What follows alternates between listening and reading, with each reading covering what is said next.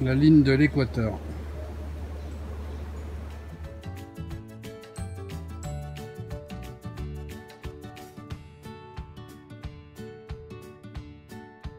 on est sur l'île de la Roya, donc tout au sud de Sao Tomé, à l'hôtel Pastena, idéal pour faire des voyages de noces.